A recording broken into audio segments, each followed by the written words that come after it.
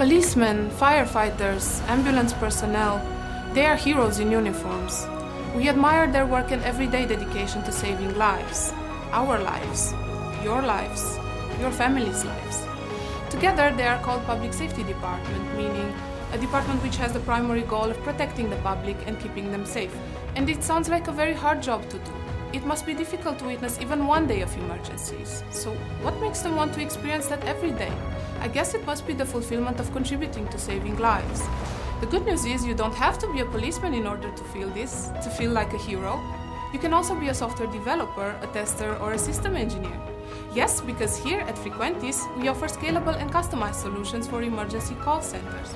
We have efficient ideas for emergency calls routing, for dispatching rescue units, and for guiding them along the way.